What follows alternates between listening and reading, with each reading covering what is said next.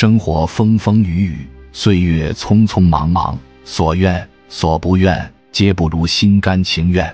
大家好，欢迎来到老赵海外纪事。我们接着上期视频继续往下讲。康特的寻亲之旅确实充满了艰辛和坎坷，期间除了有康特妈妈的阻拦，还有杰斯时不时出来捣乱。好在康特有坚强的毅力，一直坚持到现在。康特自从认识阿祖法以后，生活多了很多的传奇色彩。从生活富裕的公子哥到落魄的贫困户，最后到现在的一无所有、妻离子散。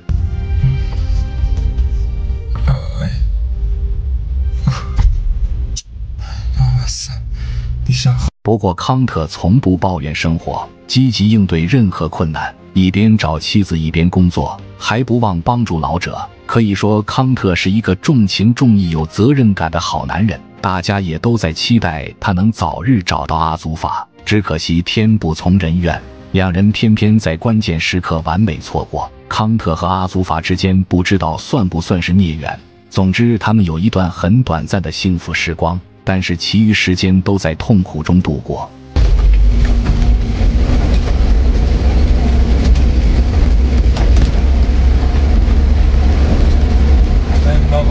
昨天晚上，康特还是在卡车上睡了一夜。他早已习惯了这种流浪的生活，因为没有妻子，也就没有了家，只能四海为家。我们生活在如此现代化的世界，交通以及信号网络四通八达，其实要找到一个人并不难。但康特他们生活在各方面物质条件比较落后的游牧地区，不仅网络和经济不发达。人们的思想也停留在相对落后的文明时代。康特看起来精明能干，但有时候思想过于陈旧，总喜欢按照自己的想法特立独行，听不进去别人的意见，才导致他到现在连阿祖法的一点线索也找不到。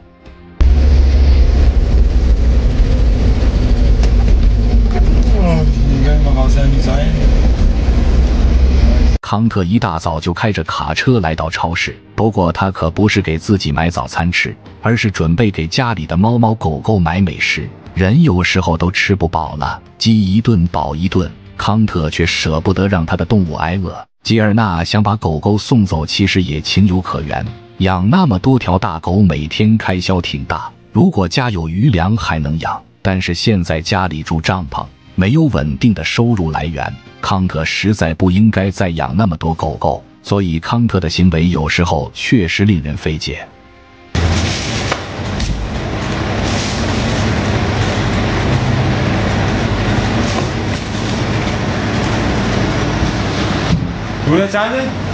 康特给狗狗们买了好几包的生肉，也不知道需要花多少钱，看起来是不少。不过可能不够家里的那几条大狗塞牙缝的。康特只给自己买了一瓶饮料当早餐，却给狗狗们买一大堆肉食。结完账之后，他就带着那些美食回家了。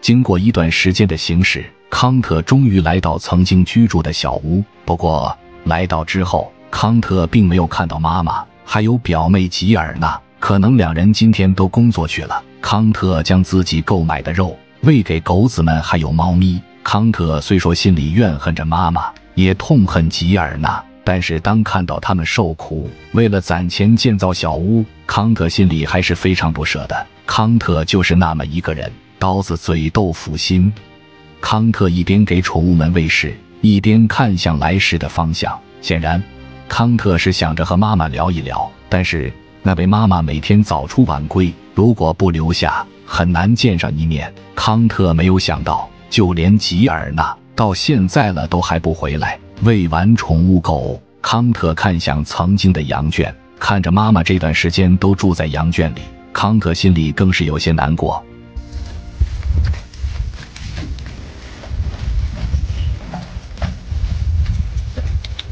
康特真的是一位孝子，尽管那位妈妈对他做了那么多坏事，破坏了原本幸福的生活，可康特还是决定要帮助他们，但不是给他们建造房子，因为康特目前根本没有那个经济实力。不过，康特可以为他们在村里租一间房子，这样也不至于到了晚上冻得瑟瑟发抖。那位妈妈本来可以住遮风挡雨的好房子，只因她始终认为阿祖法母女不祥，不顾对错，强行赶走了他们，最后导致自己每天住在羊圈里。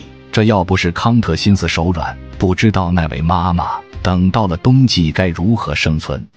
再把买来的肉喂完，康特和宠物们打完招呼，准备到村里看看有没有出租房子的。康特本来就很困难，现在还这么帮助妈妈和吉尔呢，不知道康特的真心能不能让那位妈妈回心转意，重新接受阿祖法母女。其实对于阿祖法来说，接不接受已经无所谓了，因为过上一段时间，阿祖法母女就拥有了属于自己的大房子。阿弥陀佛，你可以别再？来，去去去，我是好不。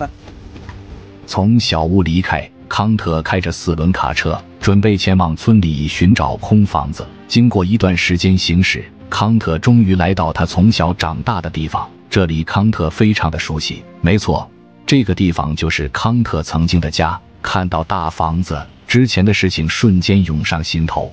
康特用手敲响了大门，他想要看看现在谁住在里面，有没有房子出租。显然，康特是想着租下来这间房子。不过很遗憾，康特敲了半天也没有人开门，说明这家里并没有住着人。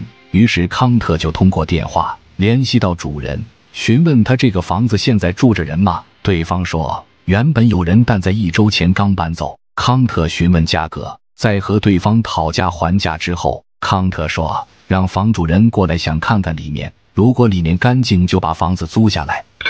سلام آقا علی خوبی؟ راحت باشین فرام قربونت خوبی سلامتی؟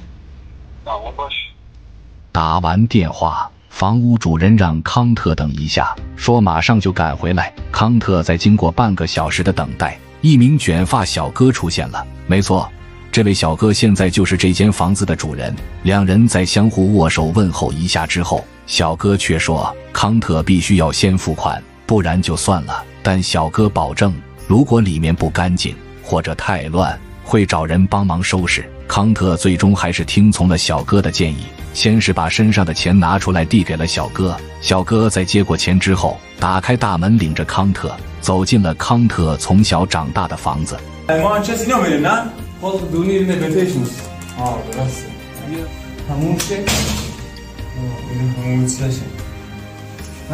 很多陈年设施都没有改变房间总体还是很干净。康特决定租下来再把小哥送走之后康特躺在了地毯上，紧闭双眼睡着了。不知道这一觉康特会睡多久。